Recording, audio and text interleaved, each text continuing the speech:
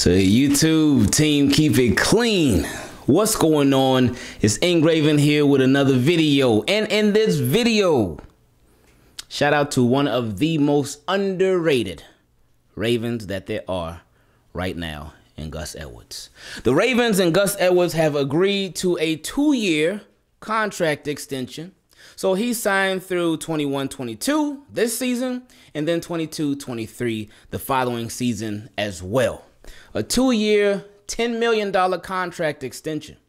Now, this doesn't put him up there with the highest paid running backs. So, Ravens are still getting a, a huge deal. They were already getting a huge deal with Gus Edwards on a tender, but this is still, even though this is a contract extension, this is a a bargain if if that's even like it's it's even cheaper than a bargain for the Ravens. Like Gus Edwards, they're getting him super cheap starting caliber running back for five mil per year. That's how much they had signed Mark Ingram for. And they were like, hey, you know what?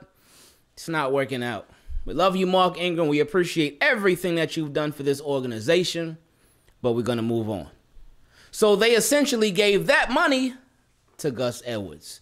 So he will remain with the Ravens for the next two years. And me, I know, y'all know, I, have expressed it on here so many times that Gus Edwards, he he was somebody where I questioned how the Ravens really felt about Gus Edwards through through their actions. Not the actions of how they played him because they certainly use him. Um, he was certainly he's certainly an extremely efficient runner. But the actions by this, by the money. Because well, a lot of us felt like Gus Edwards deserved a pay raise. We felt like he deserved the contract extension. And we felt like he deserved that this year. We know him being an unrestricted, I mean, excuse me, an undrafted free agent, that he could be on a super cheap deal for a while. And Ravens would have that advantage because they they would have him as an exclusive rights free agent. Then they could just offer him tender after tender. And the tenders are much cheaper than signing him to a contract extension. So, and we know that Ravens they they like to get the most bang for their buck, so to speak. Um, so we expected that to continue this year with Gus Edwards. So this contract extension, it is a little surprising, but I'm happy for Gus. I'm very happy for him because he is somebody that they he, he continues to work. He continues to get better. He continues to progress. His first year, he came on the scene this big, bulky guy, super physical running back, strong, stiff arming people, running people over, north south runner. And I was like, okay, this this Gus Edwards guy, he's something. He is something. And I remember comparing him and, and Mark Thompson, who I really liked. But Mark Thompson, he didn't end up making it. I think he went to the Jets, and after he went to the Jets, I never heard from him again, unfortunately. But Gus Edwards stuck around with the Baltimore Ravens. And again, north south runner, very strong runner. Very decisive guy. When he goes, he goes. And he sticks with his decision. He ain't out there jumping around. He ain't got happy feet in the backfield, none of that. He makes his decision and rolls with it. But then in the second year, he slimmed down. And I was like, whoa. He oh, okay. And I was a little bit worried because I'm like, man, Gus Edwards, he slimmed down a bit. Oh, yeah, he'll have some more speed, which is great. He'll have some more burst, which is even better. But will he have the same power? That's what I was worried about. If he would have that same power, but he didn't lose it. He didn't lose an ounce of it. Not one ounce. And Gus Edwards, he took his game up to another level. So after you slim down and you still have power, how, how else can you add to your game as a running back? Well, the following year he did just that. Mark Ingram, of course, Mark Ingram was a starter because Mark Ingram was Mark Ingram had a phenomenal 2019 season. Uh, and then starting out in 2020, he was a starter. He was a guy. Uh, but Mark Ingram, he uh, it just it, it wasn't working out the same. It, it just it, he hadn't looked like the Mark Ingram from the previous year. Uh, and Ravens, they, the, the offensive line wasn't the best, but still, Mark Ingram, when he would get into games, a lot of times it just things wouldn't click. Now it wasn't every time because he did have some runs where he popped them off, but when Gus Edwards was in and J.K. Dobbins were in, it, it looked a whole lot better.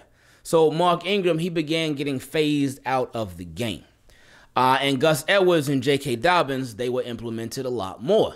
But not only were they implemented a lot more, Gus Edwards, the part of his game that was implemented this past season was in the passing game. And I appreciated that so much. I really did.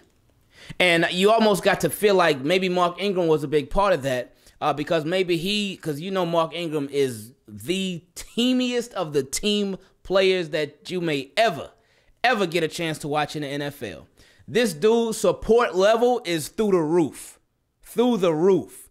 This dude will ride with his teammates like y'all already know what I'm talking about. Shout out to Mark Ingram, man.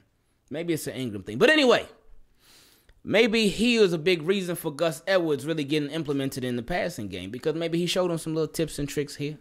Because we know Mark Ingram with the Saints, oh, he was definitely involved in that passing game. If you're running back for the Saints, you are going to be heavily involved in the passing game. But anyway, uh, Gus Edwards, that in that third year, this past year, he took he elevated his game to another height because he started catching passes. And it wasn't just like little dump offs here and there, like, oh, here you go, Gus, here's a screen pass. I mean, you know, Ravens, we don't really run screen passes anyway, but it was like, here, Gus, here's a five yard pass, here's a little check down. It wasn't just stuff like, no, no, no, no, no, no, no, no, no. No. Like Lamar would drop back and Gus would really be running, and Lamar whoosh, sail it downfield. Not all the way downfield, but it was a significant distance and Gus Edwards would catch it. I think my, my favorite catch from him was it against the Giants. I feel like it was against the Giants. Maybe it was, but it, it was a catch against some team. I forgot who it was. Where Gus was running along the sideline and Lamar Jackson threw it to him. And Gus Edwards, I was thinking, okay, nah, if he drops it, okay, ain't no big deal. I ain't really expecting him to catch it like that. But Gus Edwards went up, went up and got it, pulled it down out of the air. He got hit, bounced off of somebody. He said, what? who, who does this guy think he is? Who does he think he is trying to hit me? Well, like what? Caught his balance and then ran for a bunch more yards after the catch.